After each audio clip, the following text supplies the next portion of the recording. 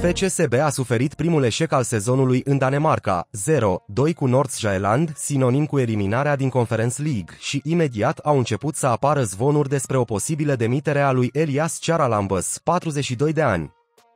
Numele înlocuitorului vehiculat este Marius Șumudică, dar antrenorul susține că nu a primit nicio propunere de la Gigi Becali, cu care a discutat în repetate rânduri la telefon în ultima perioadă, însă despre alte subiecte. În același timp, Marius Șumudică a transmis că, dacă ar veni o ofertă de la FCSB, ar analiza-o.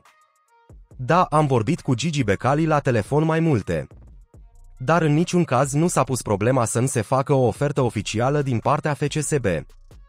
Eu sunt antrenor profesionist după cum am mai spus, dacă am o ofertă pot să iau în calcul orice fel de ofertă, chiar dacă vine din Arabia, din Turcia sau chiar de la FCSB. Dar Gigi Becali nu mi-a propus oficial să preiau echipa.